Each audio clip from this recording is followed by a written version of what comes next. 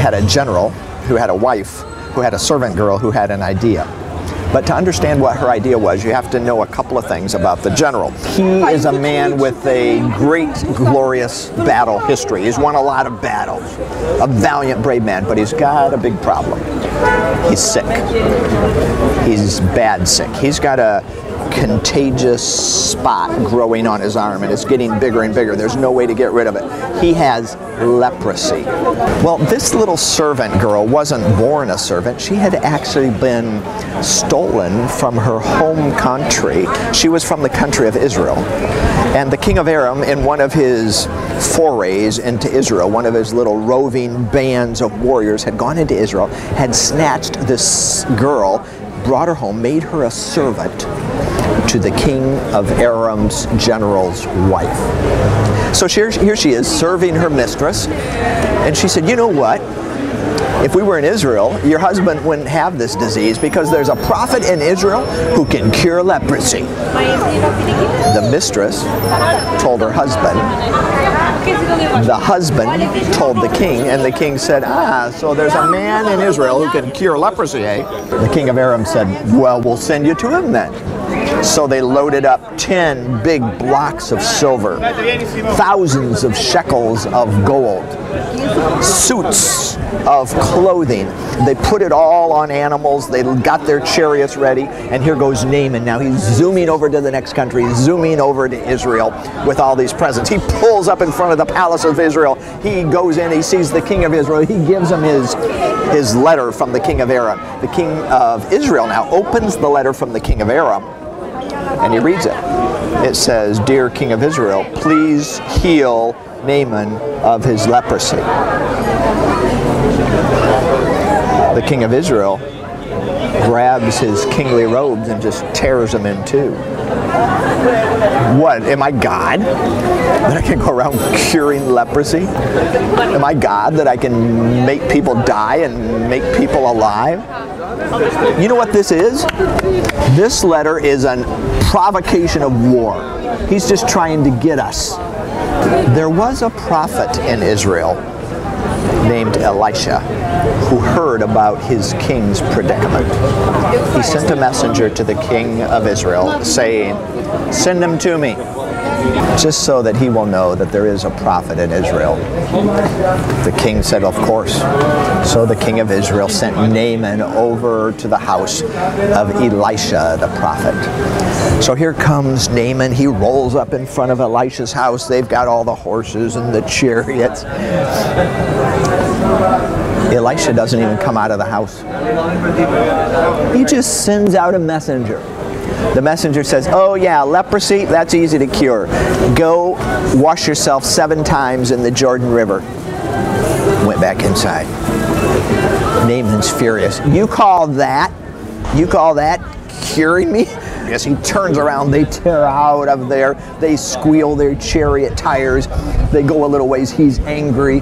He says, at the very least, I was sure this guy would come out and he'd do like some prophet stuff, you know, and he'd be big and imposing with robes and he would make some chants and he would wave his arms over the sickness and poof, I would get better. But this washing seven times in the Jordan River, what kind of cure is that? Hey, if I want a river, I got plenty of rivers back in Damascus and I got better rivers than they've got here. Now Naaman's servants came up to him. Father, they said, what if the prophet had come out and asked you to do something difficult? You would have done it, wouldn't you? What if he had told you it was going to cost way more money than you have? You would have somehow figured out how to get that money, wouldn't you? So why, when he gives you a very simple solution, why don't you take it? There's nothing to lose. It's just seven baths. Naaman gives in, yeah, you're right. So they go down to the Jordan River, and he, Naaman gets out of his chariot. He climbs down there into that small river. He dips himself down in one time.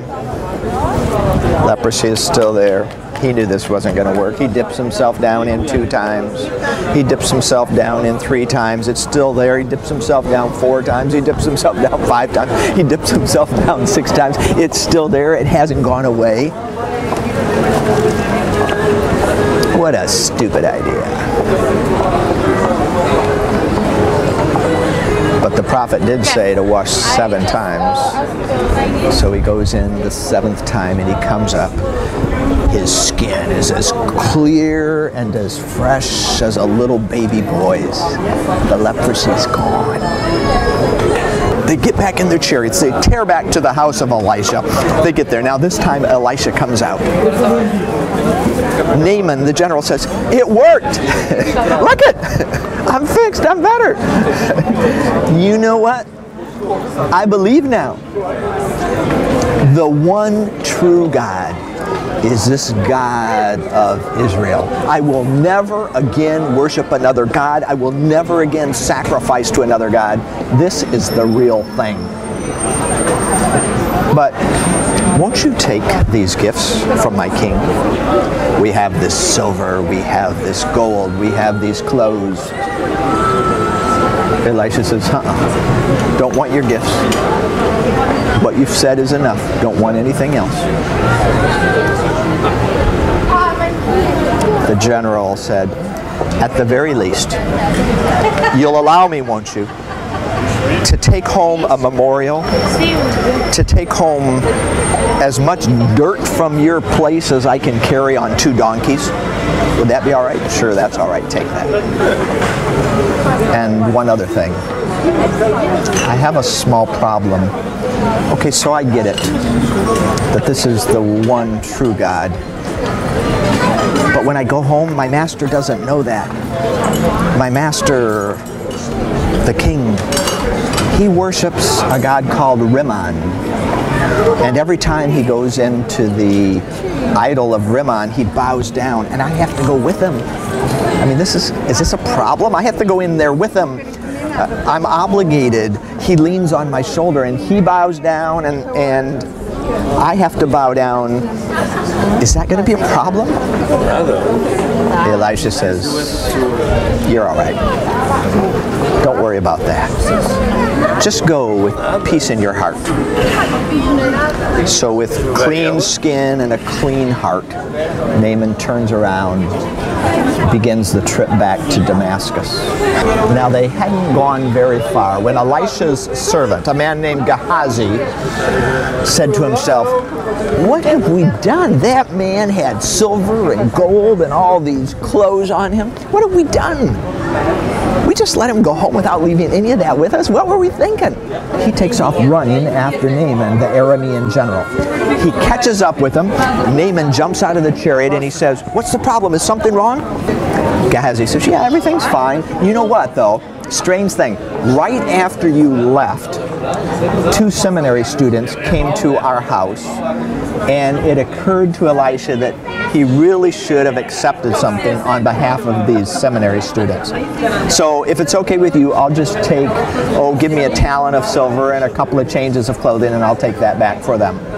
Naaman says, But of course, I offered you all this, of course. So he gives him not just one talent, he gives him two of these blocks of silver, and he gives him two changes of clothing, and he gives him servants to help carry this stuff back to the house. When they get near enough the house, Gehazi says, That's good enough, fellas, just leave it here. And then Gehazi takes it on into the house and finds a place to hide it.